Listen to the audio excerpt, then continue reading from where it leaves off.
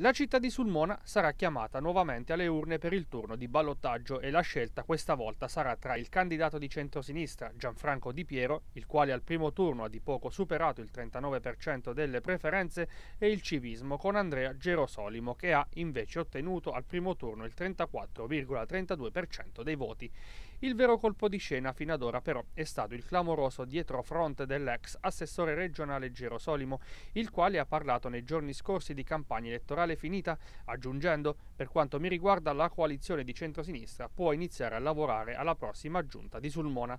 scelta arrivata forse anche a seguito del secco no ad un apparentamento da parte del centrodestra e del candidato sindaco Vittorio Masci, il quale ha dichiarato ufficialmente di non sostenere Gerosolimo in quanto scesi in campo come alternativa al civismo. Nonostante questa rinuncia, i candidati consiglieri di Sulmona protagonista hanno deciso di andare avanti. Infatti i 112 componenti delle sette liste, forte degli oltre mille voti in più di Gianfranco Di Piero, invitano a votare Gerosolimo. Va avanti deciso per la propria strada invece il candidato Gianfranco Franco Di Piero, che in questi giorni, pur sapendo della scelta effettuata dal suo sfidante, ha continuato ad incontrare cittadini e categorie e facendo manifestazioni pubbliche. Dopo l'entusiasmante risultato del primo turno, con il quale i cittadini hanno chiaramente manifestato l'esigenza di un profondo cambiamento, siamo tutti chiamati a portare a termine l'importante partita per il futuro di Sulmona. Il prossimo sindaco dovrà essere in grado, con il decisivo sostegno delle forze politiche e di governo, di trasformare una città in declino in una città dove vivibilità e benessere tornino ai tempi migliori.